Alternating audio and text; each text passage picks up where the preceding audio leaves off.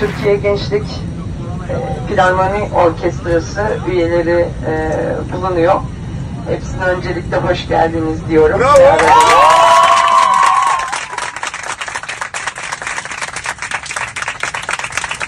Hepinize inanın gurur duydum. E, ellerinizle, e, enstrümanlarınızla içeriye girerken mutlu olduk. E, sizin gibi aydınlık gençleri görmekten gurur duyuyoruz uçağımızda.